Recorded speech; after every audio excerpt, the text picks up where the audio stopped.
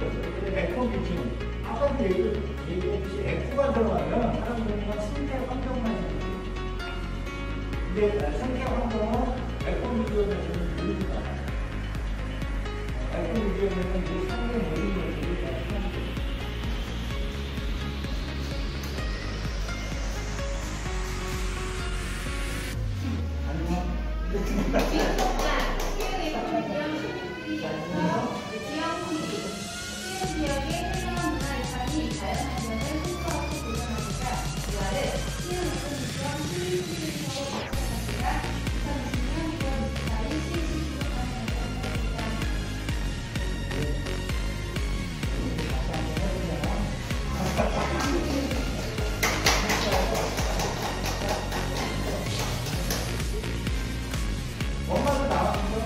아니, 뭐,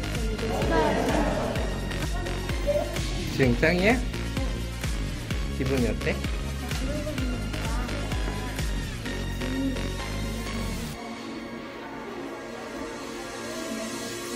내가. 그 크리에이터 중에 너가 제일 나이가 어린 거야. 1등은 게 아니야. 지영아 오늘 크리에이터 되니까 어때? 좋았어? 좀 긴장됐지, 뭐야? 그래? 그래서 기절할 거. 기절할 뻔했어?